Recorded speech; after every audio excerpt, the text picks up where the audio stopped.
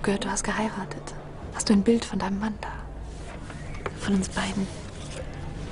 Ich habe dir von ihm geschrieben. Bekommst du meine Briefe? Ja.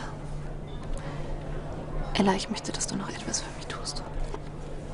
Ich habe nämlich eine Tochter. Ich möchte, dass du für sie sorgst, falls mir was passiert. Ich werde für sie sorgen. Das weißt du. Ist nicht dein Ernst. Weißt du, wie spät es ist?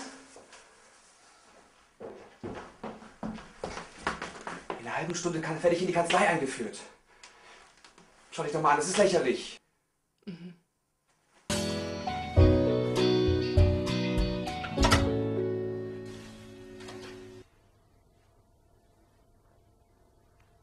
Na, musst du jetzt heulen?